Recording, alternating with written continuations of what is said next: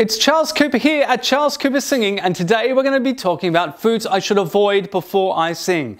Before you sing you should avoid foods that are overly chewy or foods that are overly sticky or foods that are overly mushy and make sure that you sing with passion.